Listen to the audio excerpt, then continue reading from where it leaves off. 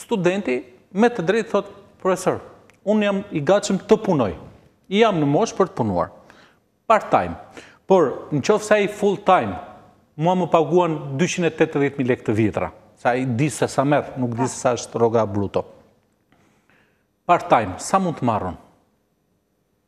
do më shfrytëzojë, se këtu nuk funksionon as kontrolli i, i, i, i punës apo i punonjësve, do më shfrytëzojë në vend të 4, 6, 7 apo 8 orë, dhe do më japi, sikur, më, sikur kam punuar 4 orë ato që po, po diskutoje pak më përpara për punën e kontratave.